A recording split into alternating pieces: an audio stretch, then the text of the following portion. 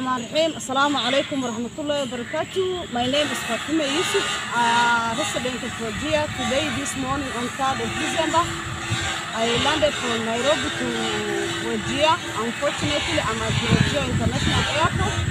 I can't aboard the, the commercial buses because it's not disabled friendly.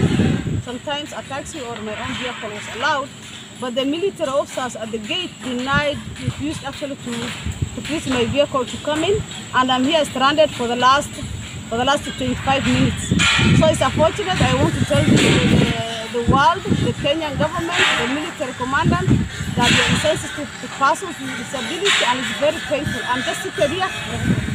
I'm just sitting here and you can see I can't be, I've been waiting and there's no still any assistance I'm from this. So I want to give my grievances to any person who has the heart or understand the plight of persons with disability. Thank you very much.